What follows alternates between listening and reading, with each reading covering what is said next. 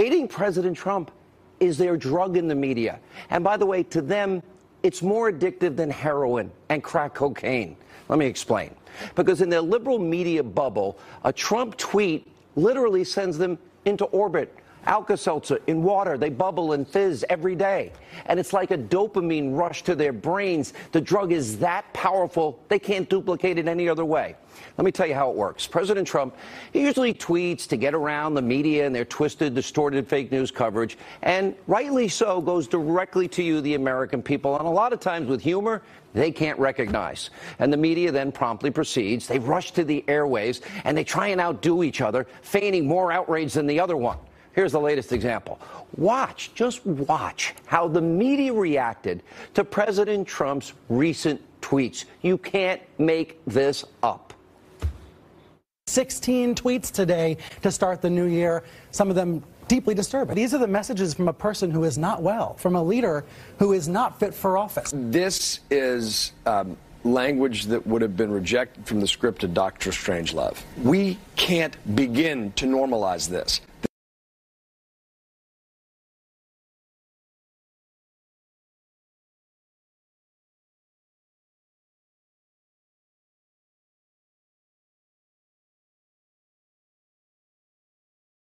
Threat from North Korea.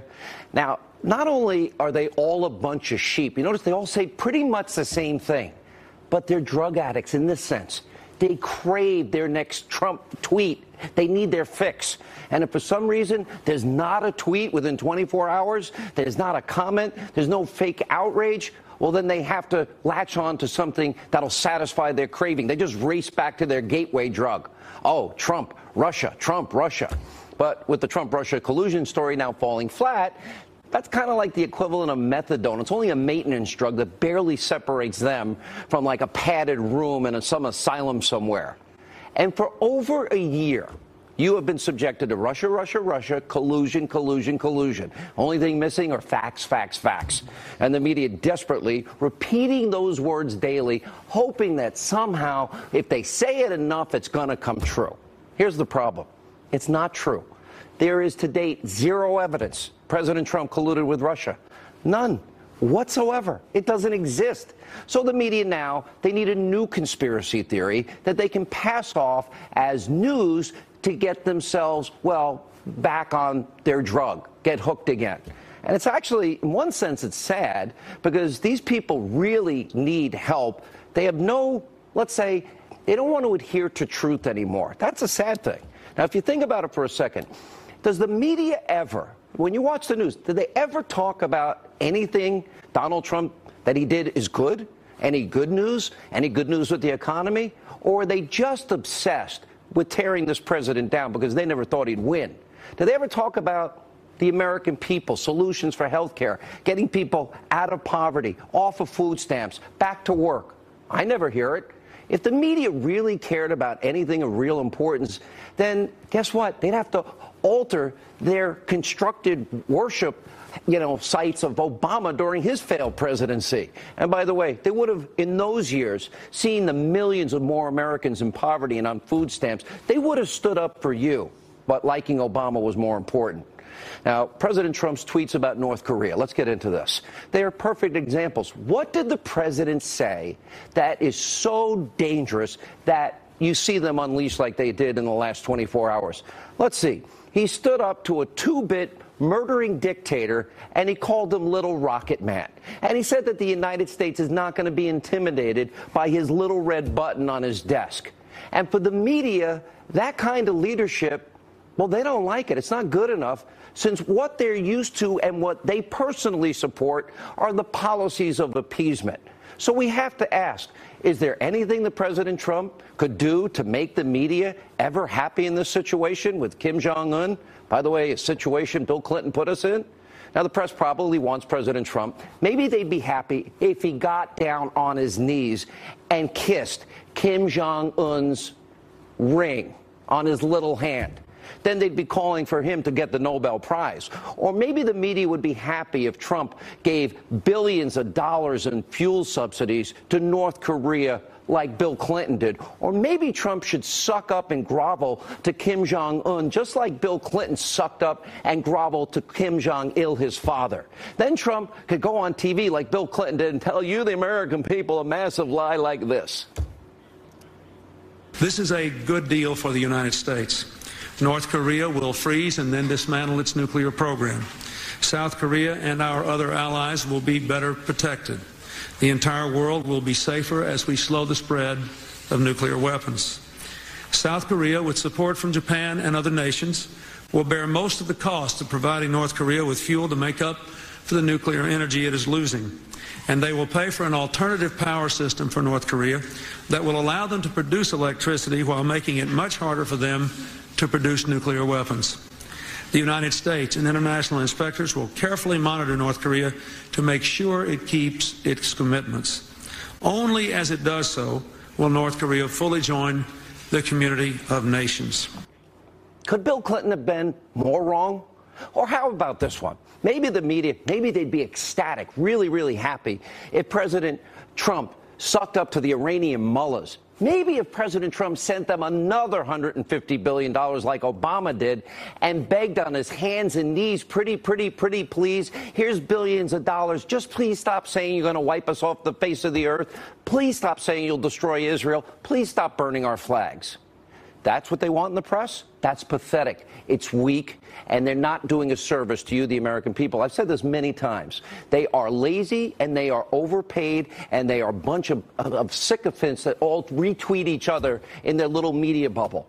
The sky is literally, you know, falling down for these people, all because Donald Trump dared to stand up and challenge a murdering dictator.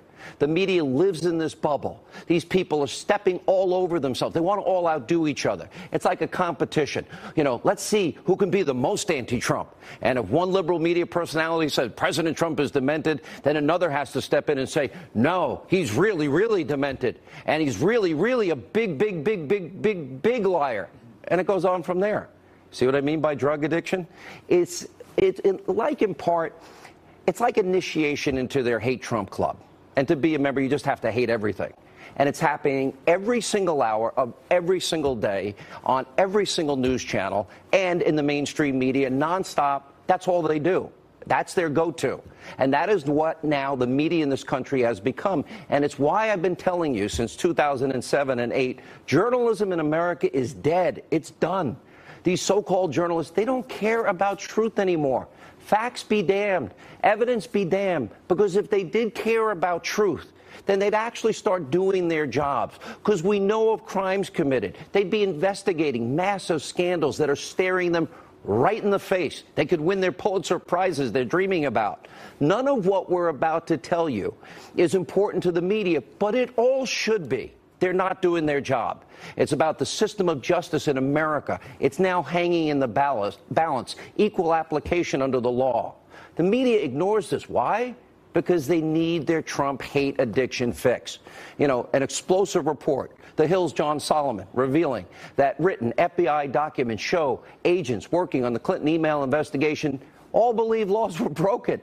In addition, 17 witnesses interviewed after James Comey already drafted the exoneration statement of Hillary. The fix was in, it was rigged. It was exoneration before investigation.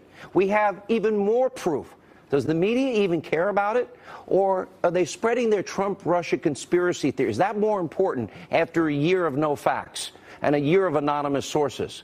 How about, you know, Trump hating and Clinton loving FBI agent Peter Strzok and his FBI lawyer girlfriend Lisa Page completely trashing President Trump on text messages? They called him a lonesome human being, an idiot, and Strzok and Page also talked about an insurance policy in Andy's office, which we believe is the deputy FBI director, Andrew McCabe, in case Donald Trump won the election. And remember, it was Strzok and Comey. They're the ones that changed the, the verbiage in the exoneration letter before the investigation was done. None of this is important to the media. It should be. There's special counsel Robert Mueller his merry team of Democratic generous donors. They don't donate to Republicans, 50 grand to Democrats, including Hillary and Barack Obama. And of course, none of them gave to President Trump's campaign. One of Mueller's lead investigators, Jeannie Rhee, actually represented Clinton and the Clinton Foundation in 2015. You can't get a bigger conflict of interest. Nothing from the media. And we have Mueller's top prosecutor, the expert Andrew Weissmann, the professional he is. He led the extremely controversial obstruction of justice case against Arthur Andersen Accounting as part of the Enron scandal. He destroyed that company, cost tens of thousands of people their jobs, and was overturned in the U.S. Supreme Court in 05 9 0. Yeah, that's a great guy to put on your team. And then he also sent four Merrill Lynch executives to jail. Their convictions were also overturned. That case by the Fifth U.S. Circuit Court of Appeals. Does the media not care about any of this? If it was a bunch of Republican donors, donors and, and giving donations to Trump, investigating Hillary Clinton, don't you think it would be the biggest story ever? Really? Now, next, of course, you have the demoted DOJ official Bruce Ohr, his wife Nellie Bruce Ohr meets with members of Fusion GPS before and after the 2016 election. And Nellie, his wife, Nellie Ohr worked for the firm that Hillary Clinton and the DNC paid to produce the fake, phony propaganda Russian anti-Trump dossier. And then finally, the FBI Deputy Director Andrew McCabe, his wife Jill, gets 700 grand from a longtime Clinton ally. Remember, former Virginia Governor Terry McAuliffe? Democrats, all that money given for a failed Virginia state Senate run, that is an astronomical sum, in a Senate race in Virginia. These are all individually massive stories not even mentioning Uranium One, about, let's see, bribery, extortion, money laundering, kickbacks, and they knew it before CFIUS, before nine separate agencies approved of giving 20% of our uranium, knowing that Vladimir Putin's thugs were in America trying to get a foothold into the uranium industry in our country. We don't have enough. We need more. It's insane. Then you look at the money behind that. You have mountains of evidence here of wrongdoing. The media is not touching any of it. Why? Because the media is infatuated. They cannot control themselves anymore, and it's all about hating President Trump. It's kind of like a sickness. Doesn't have a cure, apparently never will. They can't see anything else. That is their singular focus. Even, by the way, they would prefer kissing the rings and backsides of dictators. The media is betraying you, the American people. Now, you would think the press, you'd think they'd have some sort of ethical compass something that would move them towards truth. But they're now so corrupted, morally bankrupt, they hate any and everybody that doesn't do it their way. The media tonight, they're hyperventilating. Again, foaming at the mouth. The back and forth between President Trump, former White House advisor Steve Bannon. President Trump responding to comments Bannon apparently made in his soon to be released book by Michael Wolff. Here's the thing the media loves, loves Steve Bannon for the moment. They love when Republicans or conservatives are fighting and create a circular firing squad. In real life, they hate Bannon and they hate Trump. And but they'll, you know, right now they'll be supportive of Steve Bannon if he th- if they think he's advancing their cause. They love these intramural fights. They love palace intrigue. They love to analyze who's up, who's down. It's another example. The media's priorities are so screwed up. When do they ever talk about you? When do they ever talk about making your life better, your kids' lives better? Here's another thing that I've said before. Anyone who works in the White House, they're there to serve the country and the president. That's it, and the American people. And that should be the main goal. People asking me all day today, what do you think about, you know, this? I think this. I think the agenda of the American people is point one, two, three, four, and a thousand. And that should be the focus of everybody. This isn't going to be a story in 48 hours. Instead of blowing this out of proportion, like the media always does, maybe they should be focused on this. Look at this painting. It's by Jon McNaughton, guy that's out in Utah. Great guy, great painter. I bought that original painting. See that guy sitting on the bench?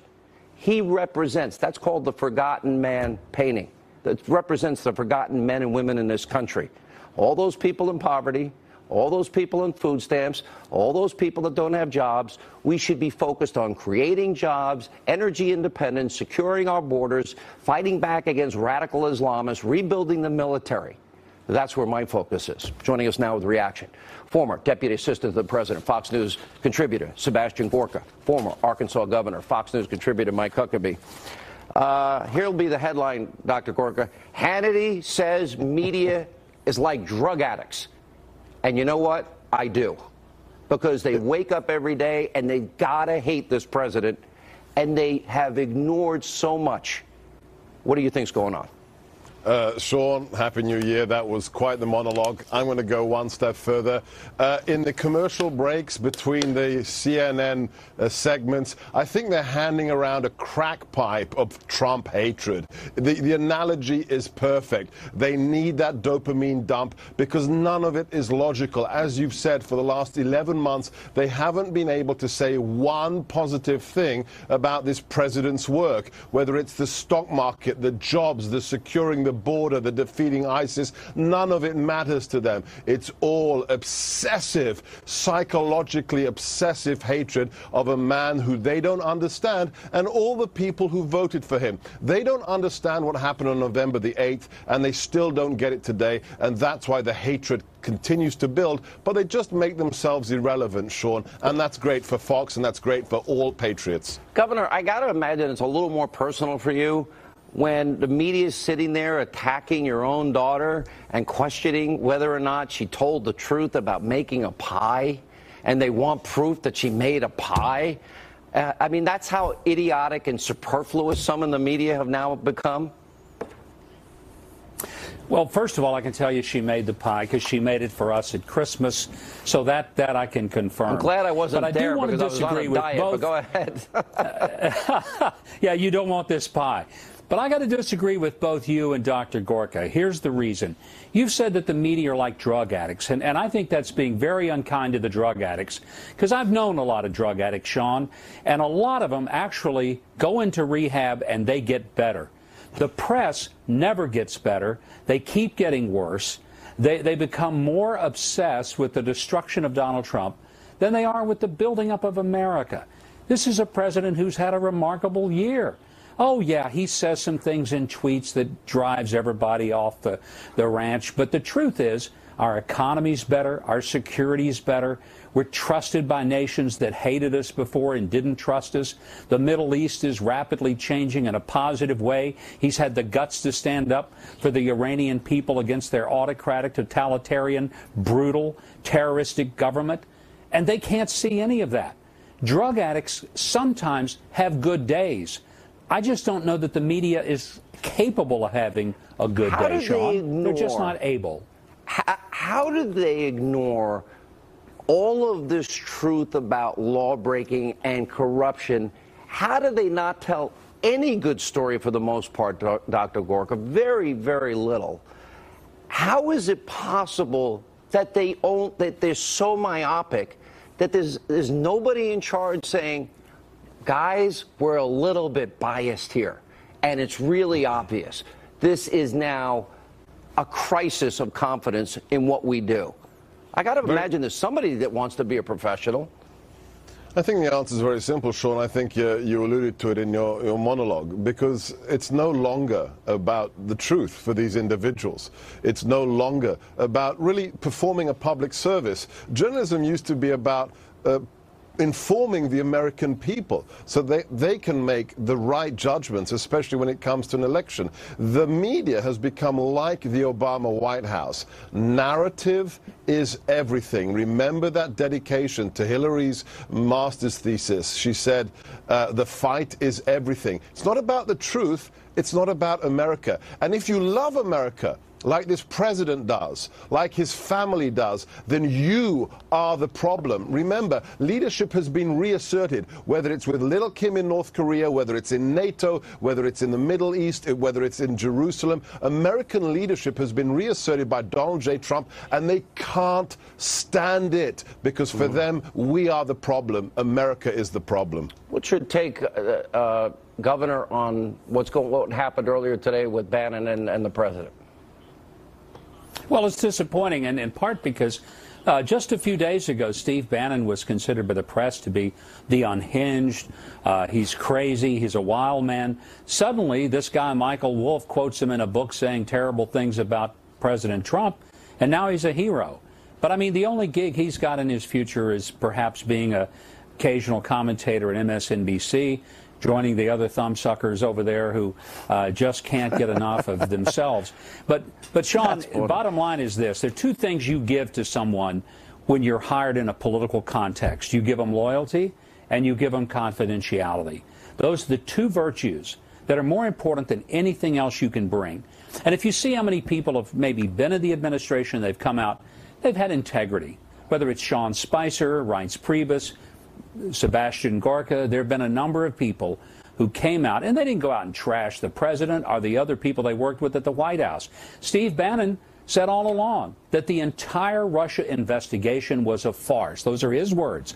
A complete farce. Yeah. There was no collusion. Let now, Dr. Gorka, let me whose get your story take on it. changed? Wasn't Donald Trump's. Wasn't Donald Trump's. Dr. Gorka, last word. Look, I'll let, I'll let Steve talk for himself. He's a big boy.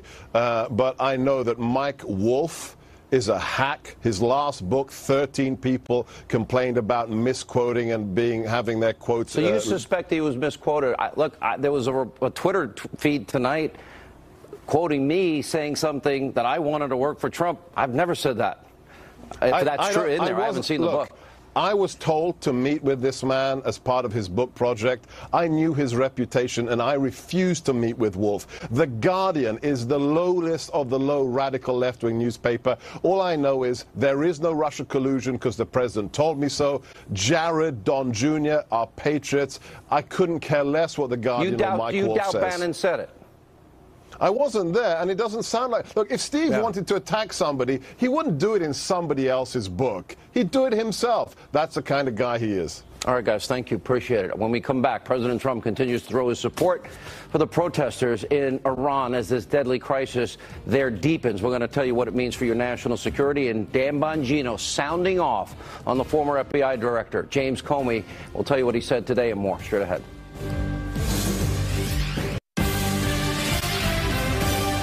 Good people of Iran want change. And other than the vast military power of the United States, that Iran's people are what their leaders fear the most. Oppressive regimes cannot endure forever, and the day will come when the people will face a choice. Will they continue down the path of poverty, bloodshed, and terror? Or will the Iranian people return to the nation's proud roots as a center of civilization, culture, and wealth, where their people can be happy and prosperous once again? Now, that was the president, that was back in September at the United Nations, predicting the unrest that is now spreading in Iran tonight. Now, earlier today, the president tweeted such respect for the people of Iran as they try to take back their corrupt government. Now, you will see great support from the United States at the appropriate time. Here with the reaction, former U.S. ambassador to the UN, Fox News contributor John Bolton, and National Iranian Congress Senate Chairman, President of the Iranian Freedom Institute, Amir Fakhravar, is with us. Good to see you. And just as we don't have the time like I did on radio today to get into all your background. You're a student pushing for freedom and liberty. You were in prison in Iran mm-hmm. for nearly six years. Every bone in your body was broken. You were tortured. Tell everybody what happened.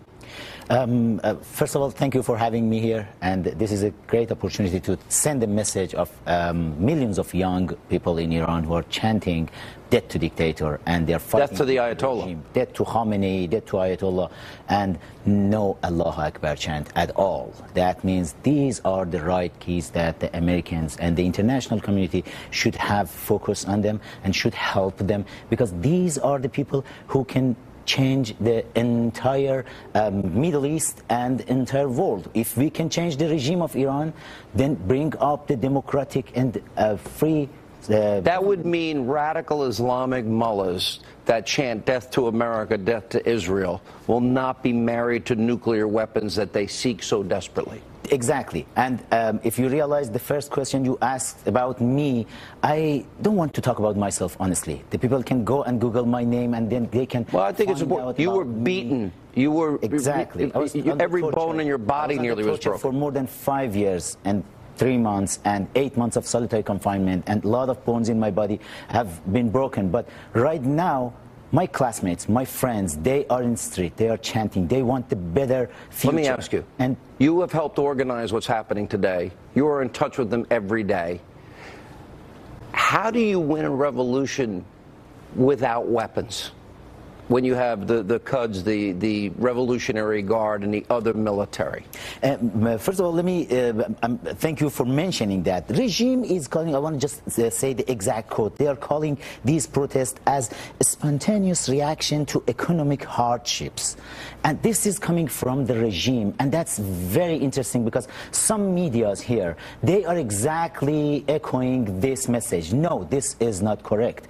These kids in Iran, they right. planned for that we planned for that because this is a you, revolution. Will this be successful? Revolution. Because, uh, let me go to uh, Ambassador Bolton. Ambassador, you have been an advocate. I think we made such a big mistake, and, and I'm sure Amir agrees with me. Uh, back in 2009, I don't know many many revolutions that win, win with slingshots and baseball bats if people aren't armed. Ambassador, my fear is we will wake up to a massacre of a lot of these young students. That is a fear that I believe is quite legitimate, sadly. No, I think that's right. And I think, uh, you know, the United States has an obligation here. The president has been correct in his tweets about support uh, for the opposition. Uh, but we have, in our past, called out oppositions into the streets in Hungary and Eastern Europe in the 1950s, uh, in Iraq after the first Persian Gulf War, and then stood by while they were slaughtered. And I don't. What should we, we do? Well, I think we've got to go to the various uh, aspects of the opposition. This is a a very complex phenomenon that's going on, and see what we can do to help them. I think in the immediate near term, they need communications help inside Iran because the uh, government has been effective in shutting down or slowing down the internet. I think they need finances so that they can uh, communicate better inside Iran, and ultimately they may need assistance more than that. Now, the uh, opposition here in the United States, which is pretty fearsome, says, oh my goodness, that would taint what's going on in Iran. You know, honestly, the people who know best what they need are the opposition figures inside Iran. If they're content to take American and other outside support, I think we should provide it to them. Amir, what would you like this president to do, and how how is this going to be successful? Do you believe the military will turn on uh, Khamenei? Um, you know, um, my father um, was an Air Force Army officer. I'm coming from the military family, but traditional military in Iran. We know not we the Quds forces, not revolutionary, uh, revolutionary guard, which guard. their their uh, exterior uh, mm. fraction is called Quds Force. This is two different military force, and the um, traditional army they have been with the people from the day. You believe one. they are today? They are today. We have seen several statements. What about the revolution? Revolutionary Guard? The Revolutionary Guard, the body of Revolutionary Guard, right now they are turning their face on their commanders, but the commanders, we cannot uh, just uh, content them. But um, as you asked uh, Ambassador John Bolton, I want to use this opportunity to say thank you to Ambassador Bolton because he was right all the time when it comes to Iran. He was on the right side of history. Thank you, Ambassador. And about what the United States can do, and specifically, the, yeah. specifically President Trump. Right now, the people in Iran, they are hungry. They love President Trump. They will love him more if he can do something to make sure we will have internet coverage all over Iran, satellite internet. This get the story the out, get the videos out, get exactly. the images out. And then how big go, is this? How many? This is huge. We are talking about millions of millions of people. They need it. They can be the army of the world to make world free from the small group of fanatic mullahs who are in power in Iran. I've got to run. Uh, wish you well. Uh, in your quest for freedom. Ambassador, always appreciate you being on. Thank you, sir. When we come back, the latest, we have the Hills bombshell report. FBI agents believe Hillary Clinton, in fact, did break the law. Dan Bongino, Austin Goolsbee, and later on, well, Joy Behar lost it. You're going to love the video of the day. Straight ahead.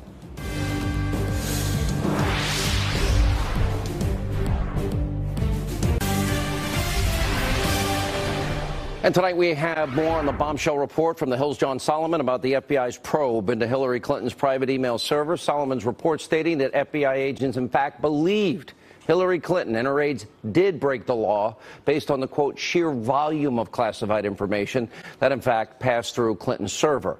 Now Solomon also reported that 17 witnesses in the Clinton case they were all interviewed after James Comey had begun writing his exoneration statement. Here with reaction, RNC spokesperson Kayleigh McEnany is with us, and Fox News contributor Sarah Carter. Sarah, before I get to that, I want to start with you. There was a meeting today it, with Paul Ryan, Rod Rosenstein, and a deadline of midnight tonight. That would be two hours and 23 minutes from now, as it relates to uh, Chairman Nunes, Nunes, who has been dogged in demanding documents be handed over by the Justice Department. Where are we with that? Well, we've just found out that uh, at this at this moment, Nunes did get off the phone with the Deputy Attorney General Rod Rosenstein, and he will be receiving those documents before midnight tonight. Okay. So well, certainly right. good news.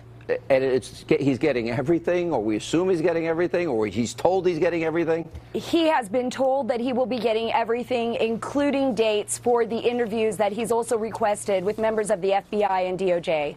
A good friend of mine, Mike Myers, who's a guest on this program, wrote me today. He says, You talk about Uranium One, you, you talk about the dossier, you talk about the email server, you talk about how uh, Comey and Strzok, the fix was in, it was all rigged on Hillary and the email server.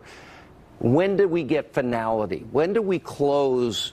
When do these sto stories come to a conclusion, or the Justice Department give us anything to indicate they're on the job? Well, we've got to know, Sean, one, that the Justice Department is actually looking into this, uh, and we don't know that yet. What we know is that the Justice Department has prosecutors interviewing people with regard to Uranium One.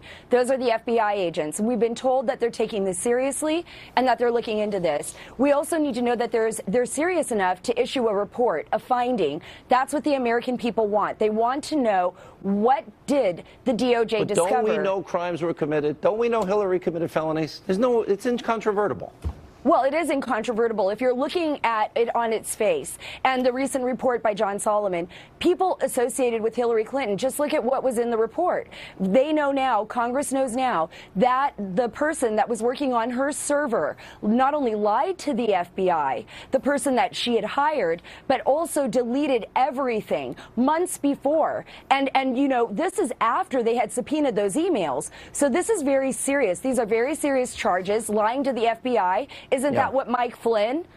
You know, you know I, this, so they exactly. dropped the ball. They dropped the ball on this. You know, there was a, fire. Thank God, nobody was hurt. Nobody was at risk at the Chappaqua House, Kayleigh, uh, today of the Clintons, and an old boss of mine writes me. He's very sarcastic and very funny. He writes, "Oh, let's see. First they tried to delete them, then they used acid wash BleachBit, then they broke up their BlackBerry. So now they decided to burn the evidence in the Clinton Chappaqua house." He's kidding for those of you that have no sense of humor uh, that hate the show. But in all honesty, they've done everything to obstruct justice, and all of the mishandling is a violation of law. All of it from the get go. And if that's not obstruction, I don't know what is. Absolutely. You mentioned BleachBit. You mentioned that the FBI had evidence of criminality, that they had written that down, and yet she gets the exoneration letter. And I just want to point out, Sean, you showed at the beginning of your show that image of the forgotten man. Well, Navy sailor Christian Saucier today has had his house under foreclosure, uh, his car repossessed. He has lost his job, 70 hours as a garbage man he works, convicted of the same crime under the same statute that Hillary Clinton got away with. She's at her house house in Chappaqua, the forgotten man and woman is subjected to an so entirely different happen, standard Kayleigh? of justice. What should happen now that we know the fix was in and that Comey and Strzok and others rigged it? Well, the DOJ should seriously look into reopening this investigation. We hope that seriously, Jeff Sessions. or they need to do that. Absolutely, they need to do that. We need answers here. The American people deserve answers because an elite standard of justice is not yeah. justice at all. And Sarah, you, you said last night on the show that you thought Uranium One would be perhaps one of the biggest stories of the year. Is it going to be everything? Do we get finality to the paid for, bought and paid for Russian dossier? Do we get answers why, in fact, Mueller and others knew about bribery, extortion, money uh, laundering, and kickbacks, but still allowed CFIUS to go forward. Nine separate agencies, all having to approve the Uranium One deal, then the money flowing back. Do we get back to the Clinton email server scandal that would have put people like us in jail? We have to. And we have to hold the DOJ accountable. So the DOJ really needs to look at this. They need to take this seriously. How long do they need to look? If- I don't have any more patience, Sarah. Um, my patience is running thin. Michael Myers is right. Well, they they do. And if they drop the ball on this, they need to answer why they dropped the ball on this. I think it's up to us to hold their feet to the fire. I think that's the most important thing. We can't give up. We have to continue to investigate and we have to continue to report all these stories. When we stop, they will stop. If we don't stop, they will have to continue. All right. Thank you both for being with us. Great analysis tonight. When we come back, Dan Bongino has very choice words for the former FBI Director James Comey over a, a, statement Comey put out today. He'll join us along with our friend Austin Goolsbee. And later tonight, our video of the day, Joy Behar. That's all I'm going to say. Her jumping the shark again. We'll show you the tape.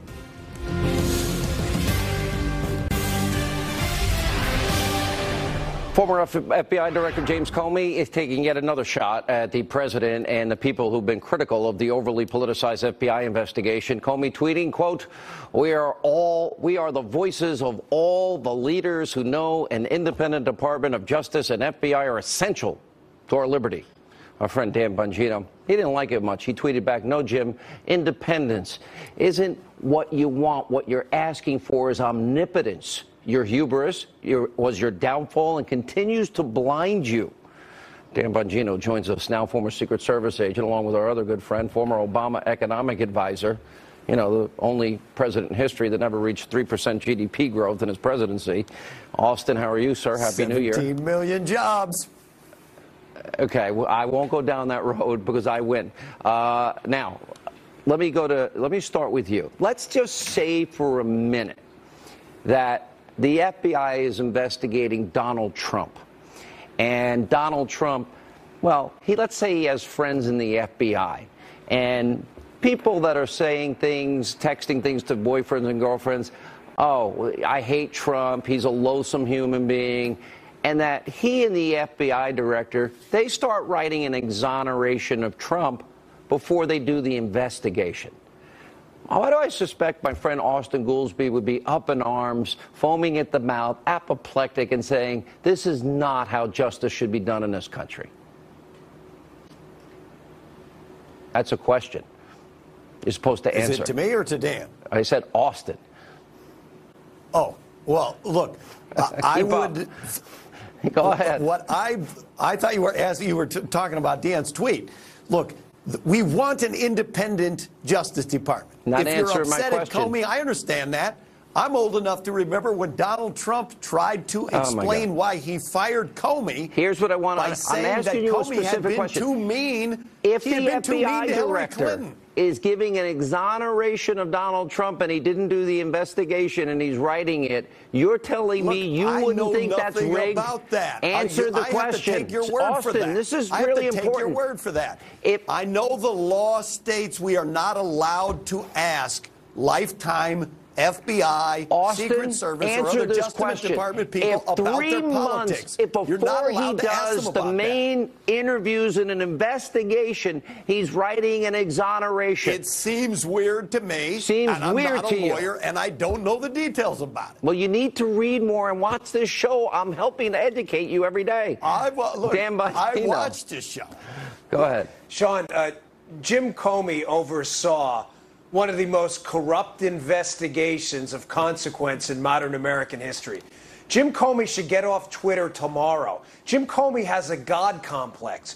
Jim Comey seems to think that he is the single arbiter of what's, what's true and moral and good in the country these days. If Jim Comey wanted to be a politician and up his clout score on social media, then Jim Comey should have run for office. But this charade, this embarrassing charade, where he pretends that he was above it all, and by the way, he pretends that the FBI should be free of political influence, which it should, by the way. while he oversaw an investigation into the Clinton email scam, by the way, Sean, Did he obstruct which justice is in only your view? explainable. If he's writing which, which an is only explainable by political influence. If You he and Peter, hang on. If you Pete, guys have got to be kidding. No, we're telling the truth. You just have to keep Wait, up. you're literally About you- what? He called for an independent Justice Department and FBI, and you guys have worked yourself Those to are the words. position that we're you think talking about he's deeds. obstructing justice. We're talking about deeds. Let me explain it to you in simple terms. That if you're Okay, writing uh, an that's what exoneration, That's what I need. if you're writing an exoneration with a guy that openly finds this president loathsome and is writing that to his FBI girlfriend at the time, and the exoneration even takes out the legal standard that Hillary Clinton clearly broke. Mishandling of classified information, destroying classified information, those are both felonies. If you're doing that, you're obstructing the justice process, aren't you, Dan Bongino? Uh, look, uh, I know that you are Au- not Austin, allowed. with- It's a- oh. Yo, Austin, listen, I, I, I, listen. I have a lot of respect for your economic background. I think you're wrong, but you are so I have no off respect for his this, economic almost- background. Go ahead. yeah, he's wrong, but I, you are so off on this. It is incredible. I spent a decade of my life actually working federal cases. Never in my life have I heard of a case where attorney-client privilege is extended to someone who's a lawyer who's a potential co-conspirator in the case, where evidence is given back to the uh, to the uh, the subjects in in the investigation before it's concluded, and an exoneration letter is drafted before the investigation's even interviewed its prime suspect. Does this make any sense to you? And now you're wondering why we're laughing about Jim Comey No, and his independent FBI. is what I can't God for the good men and understand. women of the FBI. If you worked in the federal government, it was and is against the law for anyone to ask about your politics when they are evaluating you for jobs, career jobs at the Justice Department. The fact that the that this one agent had a political opinion against President Trump they're not allowed to go ask political the political affiliations and opinions of career Austin, people. what That's about the exoneration law. letter? You and it glossed should be over against the law. This is amazing. I made three points. You addressed none of them. You addressed point number six. I only addressed three. What about the exoneration letter? Your what about tweet has the nothing to evidence do back? with the points you're making. Hey, hey, Your Austin, tweet well, was about Jim you was have the an director of independent hang on, FBI. hang on, hang on, hang on. For the sake of our audience, answer point by point. Point one, the exoneration letter. The uh, point one was about the tweet. Should we have an independent FBI and Justice Department? Yes, we should, and the law requires it. So attacking Comey for saying Those that are I words. think is Two. Go ahead. Wait. Dan. Yeah. Uh, okay. Well, you're wrong. We shouldn't. There, that is. We don't have an independent uh, federal uh, bureau of investigation. They work for the executive office of the president. I don't know where you got that from. Um, this exoneration letter. Point number two, by the way. What do you? I mean, what's your take on the the evidence? Should we be giving back the evidence? Say a murder weapon.